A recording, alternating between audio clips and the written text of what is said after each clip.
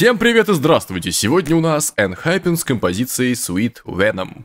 Ну, Sweet Venom, Sweet Venom. Короче, сладкий яд, сладкая отрава. Видео, вижу, тяготеет к квадратности. Все ссылки на экране, и мы с вами начинаем.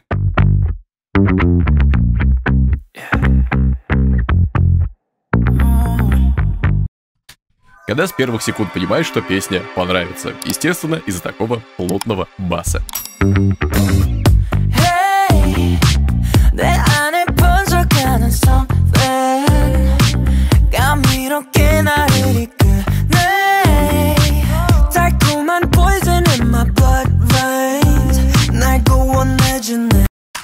Кстати, там пачка лейс, это интеграция, не знаю. Я про другое. Звучание баса, во- кроме того, что он такой насыщенный, его много, оно еще, опять же, не настолько большое, чтобы перекрывать собой все, не мешает барабанам, и вокалу, само собой, разумеется. И главное, что живой бас, прямо слышны щелчки медиатора и прочее. Обожаю живые инструменты.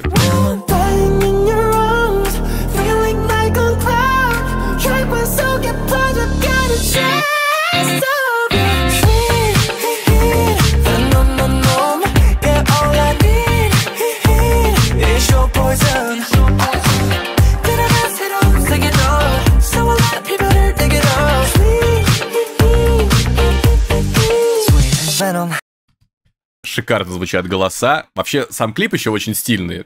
Очень стильный и интересное место для съемок. Ну, скорее всего, это, возможно, на киностудии какую-нибудь снимали. Честно говоря, я тут не про видео, по большей части говорю, а про музыку и вокал. Так вот, похоже, история в очередной раз закольцевалась. Ну, фанковые гитары, вот этот бас а поп-музыки 70-х, 80-х.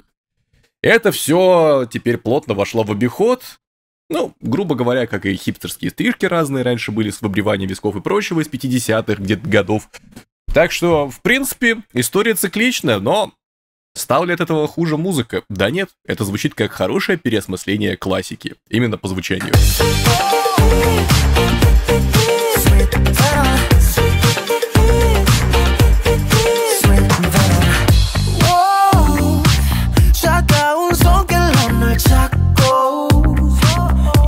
입술은 여전히 널 불러 기꺼이 널 위해 날 바쳐 날 바쳐 내 삶을 걷어줘 내 맘.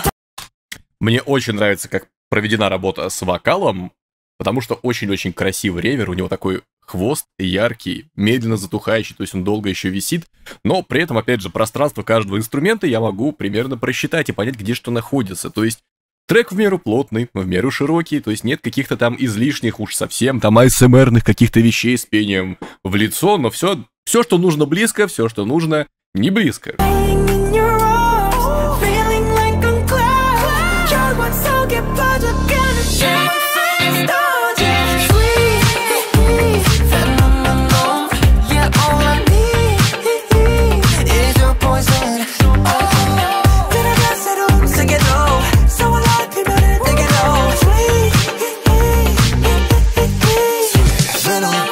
Конечно же, здесь только слепой не заметит, как же все похоже на образы Майкла Джексона, его сценические костюмы и хореография тоже. И это прекрасно, потому что данный артист оказал влияние на всю поп-музыку, на кей-поп в частности, и многие артисты об этом рассказывали, то есть как на них повлияли его танцы, его пение и так далее. И, возможно, когда-нибудь на канале MP Reviews новостном, на который тоже рекомендую подписаться сразу вот так вот между делом. Там у нас выходят биографические ролики, возможно, когда-нибудь Майкла Джексона соединим с кей-поп и вот в ключе как он повлиял на кей-поп. Но пока вернемся к группе Enhypen.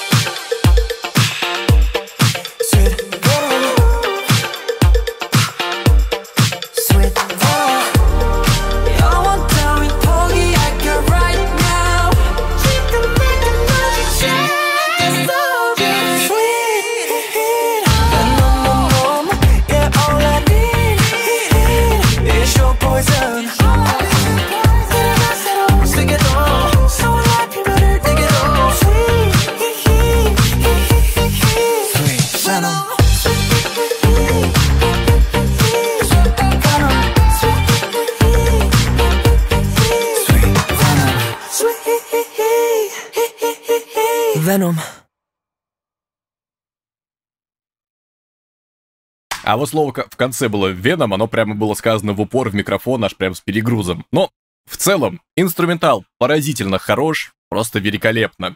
Конечно же, в очередной раз стоит подчеркнуть, что да, мы такое уже слышали, но давайте вспомним поговорку «нот всего 7». Нет, не будем, это как отговорка звучит. Прекрасно, прекрасно я называю это как-то современный винтаж.